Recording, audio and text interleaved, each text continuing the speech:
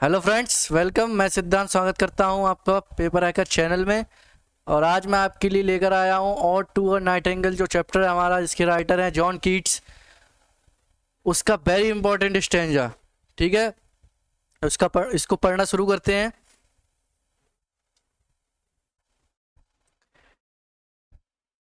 Paid far away यानी कि कहीं दूर जाकर डिसॉल्व एंड क्वाइट फॉरगेट कहीं दूर जाकर डिसॉल्व यानी कि घुल जाऊँ एंड क्वाइट फॉरगेट और भूल जाऊँ। पूरी तरह से क्या करूँ? भूल जाऊँ।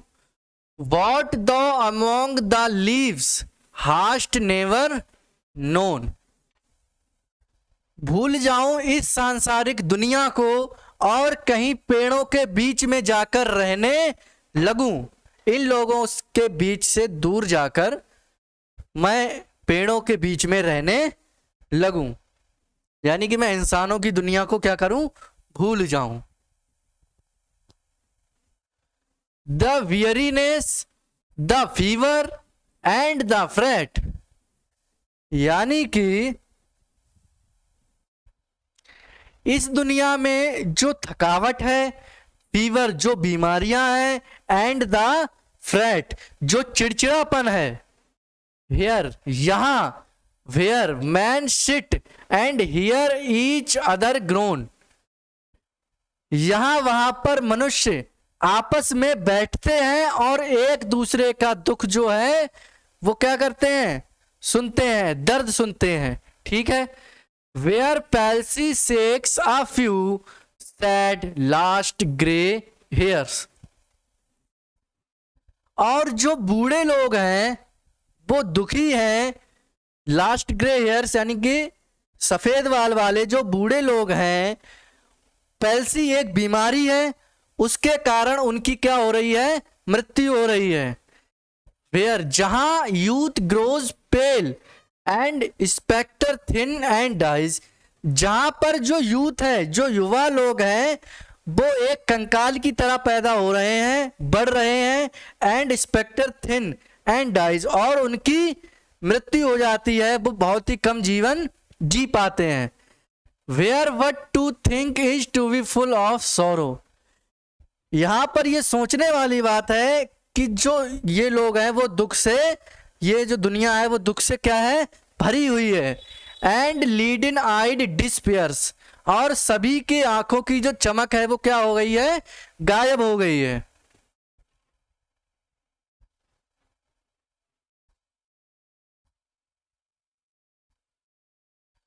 Where beauty can not keep her lustrous eyes lustrous eyes जहाँ पर जो सुंदरता है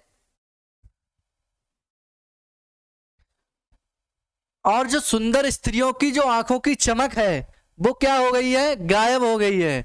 और new love pine at them beyond tomorrow और जो नए नए आशिक हैं नवयुवक हैं, उनको भी प्रेम करने के लिए समय नहीं मिल पा रहा है। उनकी क्या हो जाती है? मृत्यु हो जाती है। उनको आनंद नहीं मिल पा रहा, क्योंकि वहाँ पर बीमारियाँ ही इतनी हैं। बूढ़ों को भी अलग हैं और युवाओं को अलग है, स्त्रियों को अलग है। ठीक है? रेफरेंस सेम है अबव यानी कि जो पिछले वाले स्टेंजा में करवाया था रेफरेंस वही इस स्टेंजा में भी होगा। कंटेक्स्ट भी वही सेम होगा, जो पिछले वाले स्टेंजा का है, वो भी इस वाले स्टेंजा का हो, होगा। Explanation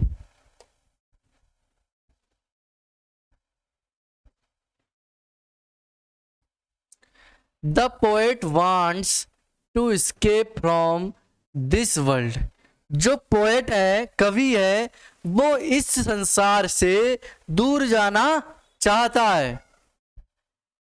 Keats describes the experiences बताते हैं डिस्क्राइब ठीक है? द एक्सपीरियंसेस अनुभवों को। Which the nightingale has never known जो बुलबुल यानी कि नाइटिंगल को कभी भी नहीं पता है। The human beings have to experience unending fatigue ठीक। जो ह्यूमन बीइंग्स हैं, उनको एक्सपीरियंस अनुभव करना पड़ता है अनएंडिंगल, यानी कि कभी ना खत्म होने वाला अटूट फैट्यू थकान। फैट्यू क्या होती है? थकान। The distressing and tiresome conditions of life. अपमानजनक। डिस्प्रेसिंग मीन्स अपमानजनक एंड टायरसम थकाऊ कंडीशंस, जो स्थितियाँ हैं ऑफ़ लाइफ जीवन की। And the feverish struggle. और बीमारी वाला जो संघर्ष है स्ट्रगल मीन संघर्ष and cares of the world और वह चिंता करता है किसकी? दुनिया की। On account of these people इन लोगों के ही कारण हेयर यहाँ are constantly suffering under the agonies of pain यहाँ पर जो लोग हैं, वो लगातार दर्द की पीड़ा से गुजर रहे हैं। At every stage of life जीवन की प्रत्येक स्टेज पर, स्थिति पर ऑफ़ ह्यूमन बींग्स मनुष्य की आर एफ्लेक्टेड विद पेन प्रभावित है किससे? दर्द से। जो जीवन की जो प्रत्येक स्थिति है, परिस्थिति है हमारे जीवन की, मनुष्य के जीवन की, वो प्रभावित है किससे? जुड़ी हुई है किससे? पेन से, दर्द से. The old and grey haired man जो बूढ़े सफ़ेद वाल वाले व्यक्ति हैं are afflicted with such disease जुड़े हुए हैं विद सच डिज़ीज़ एक ऐसी बीमारी से एज पेल्सी जिसका नाम क्या है? Palsy the young man wither and grow ghost like pale जो यंग लोग हैं वो बड़े होते हैं किसके साथ? Ghost like pale.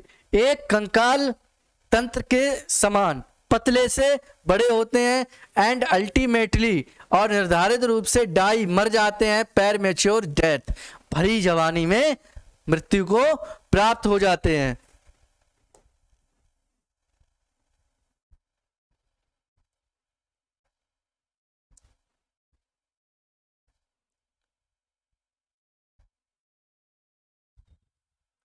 Every thought of life जीवन का प्रत्येक विचार fills a man with sorrow भर देता है मनुष्य को विद सौरो दुख से और गिरी पीड़ा से.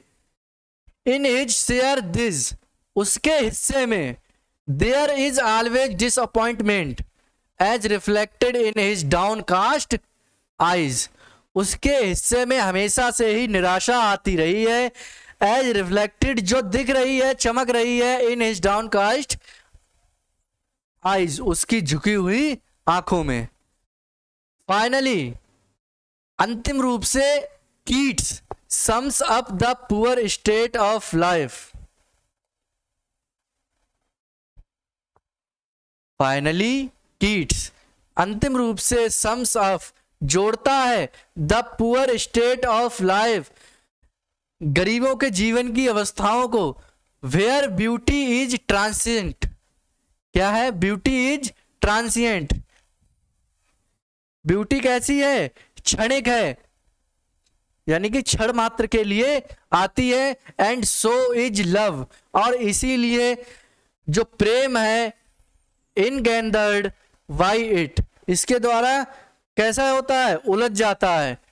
इसमें उलझ जाता है इन दिस लाइफ इस जीवन में the lustre of the eyes of a beautiful women जो सुंदर स्त्री के आँखों की जो चमक है सून जल्दी ही फेड्स अवे दूर हो जाती है and the love for such beauty और ऐसी सुंदरता के लिए जो प्रेम है also does not last long और वो वह भी ज़्यादा समय तक नहीं टिक पाता है, नहीं रहता है।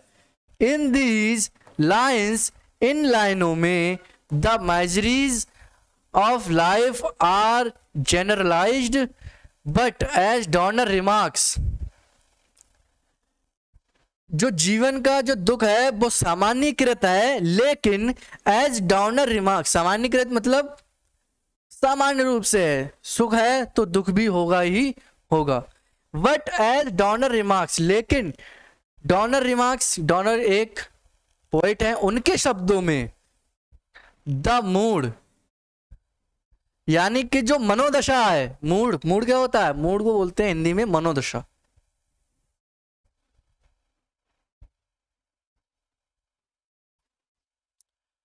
The mood and shrined in the poetic strains जो मनोदशा है, वो प्रतिष्ठापित होती है पोएटिक कवि के स्ट्रेंस स्थापित होती है कवि के उपभेदों में by the strains is illuminated by the actual sorrows of the poet himself और प्रकाशित होती है। जो मनोदशा है, वो प्रतिष्ठापित रूप से कवि के उपभेदों के रूप में प्रकाशित होती है। By the actual sorrows of the poet himself और इसमें जो पोएट है, वो क्या बताता है? अपने जीवन के दुखों के बारे में बताता है। The whole stanza depicts the supreme misery of mankind. जो पूरा जो स्टेंजा है, वो बताता है हमें the supreme misery of mankind. जीवन के, जो मनुष्य के दुखों, मनुष्य के जीवन के दुखों के बारे में बताता है। Keats wrote this ode soon after the death of his brother Tom जो कीट्स हैं, जो हमारे राइटर हैं इस पोएम के उन्होंने भी इस जो पोएट है, इसको किसकी मृत्यु के बाद लिखा था? अपने ब्रदर टॉम की मृत्यु के बाद ही लिखा था। Whom he had loved devotedly and nursed to the end जिसको वह बहुत ही अधिक प्रेम करते थे and nursed to the and और अंत तक करते रहेंगे। जब तक उनका जीवन है, तब तक वो अपने भाई को प्रेम करते रहेंगे। ठीक है? ये हमारा बहुत ही बड़ा तो स्टेंजा था ही, लेकिन इम्पोर्टेंट स्टेंजा भी था इस चैप्टर का। ठीक है? तो मिलते हैं नेक्स्ट क्लास में। वीडियो को लाइक करना ना भूलें और हमारे चैनल को सब्सक्राइब ज़रूर करें। ठीक है? और अपने साथियों तक इस वीडियो तक, इस वीडियो को ज़रूर पहुंचाएँ। मिलते हैं नेक्स्ट क्लास में। थैंक